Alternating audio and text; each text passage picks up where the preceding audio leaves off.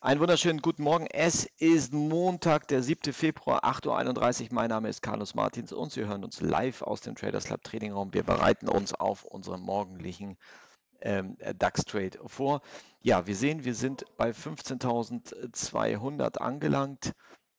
Äh, heute Morgen schon Gap haben wir heute nicht. Wir werden also 15.207 ähm, die erste Big Number platzieren. Nochmal hier zum Regelwerk. Wir handeln eine Big Number, jeweils das Level nur dreimal am Tag. Das heißt 15.2 handeln wir dreimal. Dann nochmal zur Wiederholung zum Regelwerk ab den zweiten Trade. Das heißt, wenn der Trade nicht direkt in den Gewinn läuft mit den 15 Punkten, versuchen wir den Trade laufen zu lassen. Und welche Zielmarken haben wir dort? Wir haben einmal die Zielmarke 50. So, das wäre hier in diesem Bereich und dann haben wir einmal in der oberen Schicht die, den Daily P, wo der bei, fast bei 50 ist. Dann haben wir The Big Number oben hin und The Big Number unten hin. Das sind die Zielmarken, wo wir letztendlich hin wollen. Die Falle wird jetzt hier unten platziert, falls der Markt ähm, reinlaufen sollte. Wenn nicht, gibt es noch andere Möglichkeiten. Zum Beispiel haben wir hier die Grünboxen, die ab 9 Uhr zustande kommen, nämlich unsere ja, Vola-Boxen ähm, ab 9 und wo kommt der Forecast rein? Forecast 15.240 bei 15.240. Aktuell liegen wir bei 5.215. Also das wäre dann auch die nächste Möglichkeit. Jetzt nochmal für alle, die äh, in die Aufholjagd gehen und etwas höheres Risiko eingehen wollen beim Box Trading, das Regelwerk bei den Vola-Boxen von den 9 Uhr Kurs wenn die Vola-Box 40 Punkte drüber oder 40 Punkte drunter ist von dem 9 Uhr ersten Kurs, dann würde ich höheres Risiko eingehen. Wenn wir aber direkt, also um und bei den Eröffnungskurs 10, 20 Punkte, wir müssen das ja zusammen äh, definieren, dann würde ich normales Risiko eingehen. Okay, das nochmal zur Wiederholung. Die Vola-Boxen ähm, ähm, treten wir unter 20 mit höherem Risiko, äh, die Blue Boxen und bei den Vola Boxen nochmal zur Erinnerung, die bleibt so lange, bis sie nicht mehr erscheint. Woran erkennen wir, dass die Vola Box nicht mehr für uns relevant ist, wenn kein kein ähm, ähm, Button hierzu ist, wo du ordern kannst. Und eine Vola wird einmal in der Stunde aktualisiert. So, das noch einmal zu den äh, Regeln. Dann kommen wir nochmal zu MTX. Das ist auch ein Trade, den wir morgens eingehen. Und hier fragt sich der eine oder andere Clubmitglied, ähm, Carlos, wieso tradest du das mit Box Trading aktuell? Ja, wir hatten ja gesagt, wenn wir Short gehen, nehme ich, ähm, nehme ich äh, Master Template X ganz normal, wie sonst auch mit einem weiten Stop und äh, zusätzlich Box Trading und beim Long nur Box Trading. Jetzt ähm, ähm, sind wir in beide Richtungen, denke ich mir, sind wir angekommen, wo wir beides platzieren können. Ja, und ähm, aktuell aber, wo der Markt so ein bisschen noch nicht die die 14.850er Marke nach unten durchbrochen hat, sind wir in so einer Seitwärtsphase und ich belasse das auf einem etwas höheren Risiko mit den MTX. Damit fahren wir in den letzten Monaten sehr, sehr erfolgreich, seitdem wir das machen und ähm, da muss ich jetzt nichts dran ändern. Okay, dann haben wir Kinjun Sen nochmal zur Wiederholung. Kinjun Sen ist dann auch ein Setup. Okay, jetzt gehen wir zum Überblick für, auf die Märkte. Wie sieht es aus? Wetterbericht und wir fangen an beim, ihr seht's, Bitcoin. Wir hatten Donnerstag unser erstes Bitcoin-Webinar. Ja, alle 14 Tage jetzt Bitcoin-Webinar, immer am Donnerstag 10.05 Uhr. Und wir sehen, auf Daily gibt es ab morgen ein Long-Setup im Bitcoin. Wir sind bei 42.732. So, wir gehen jetzt mal in die Vorlagen Zickzacklinie und sehen Daily zwar hier immer noch Short, 4 Stunden Long, Stunde Long, 30 Long, 15 Long und 5 Minuten sind wir leicht Short. Gehen wir runter in den Bereich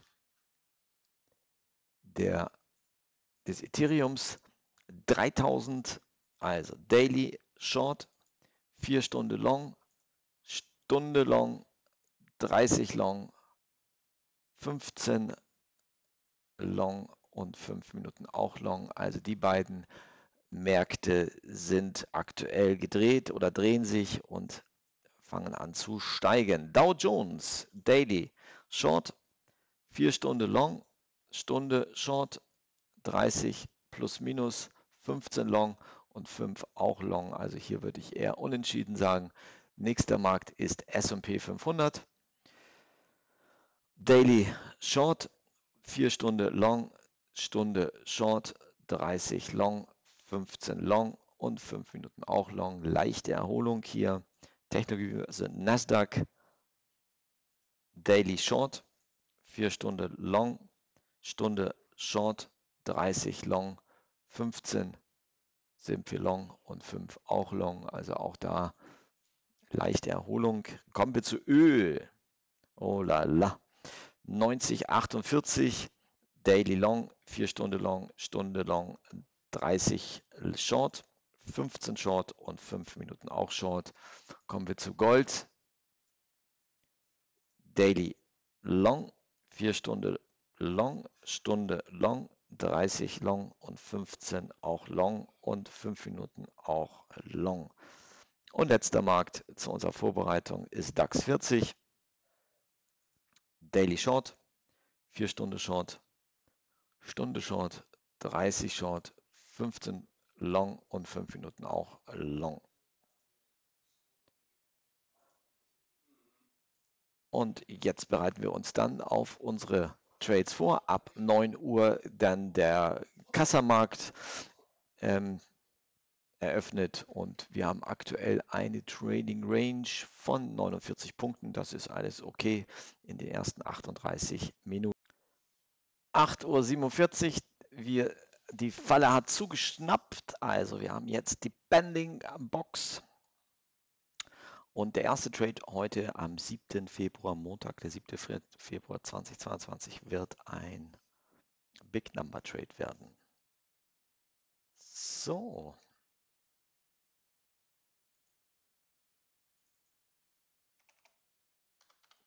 Erste Trade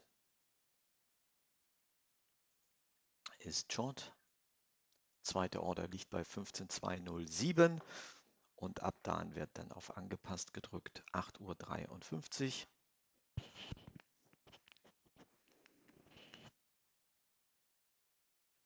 So, jetzt nehmen wir unser Schloss schon mal raus. Es kann schnell gehen hier.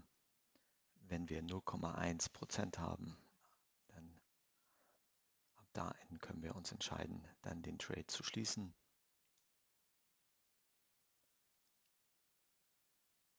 Wir sehen die erste gestrichelte Linie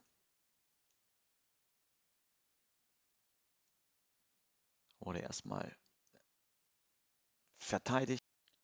So, zweiter Angriff auf, die, äh, auf das Level. Jetzt sind da einige Klubben, die, da, die wahrscheinlich jetzt auch aussteigen. So, wir sind bei 0,02, 0,03 jetzt.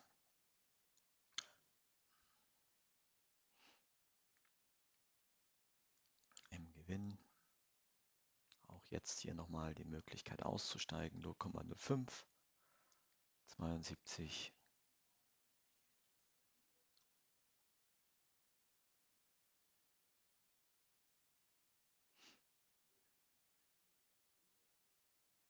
Null sieben